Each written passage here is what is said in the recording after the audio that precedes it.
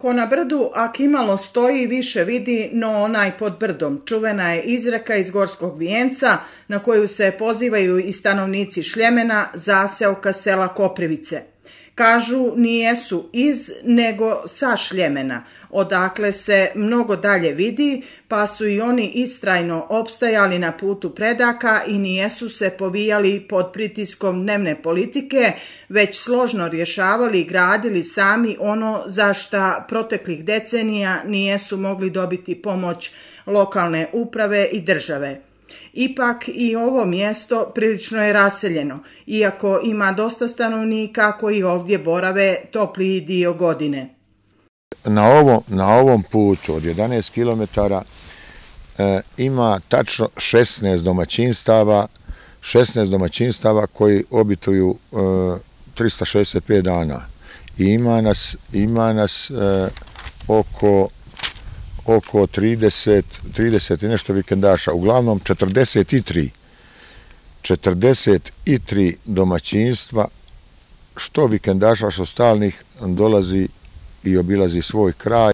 Ovo je nekako i najvisočiji, geografski najvisočiji dio sela Koprivice, zato se zove Šljeme.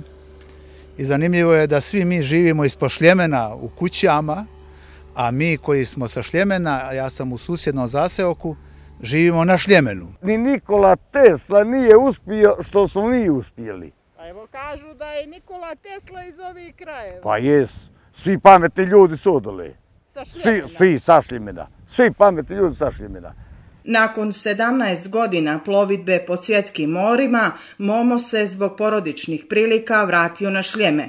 Ovdje se podsjetio znanja koja je još kao dječak usvojio od svog oca i počeo da izrađuje predmete od drveta, a potom i od kamena.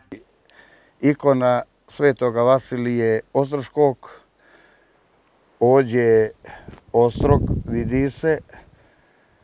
Ovo je jedna, nadam se da će izaći lijepa ikona, napravio sam ih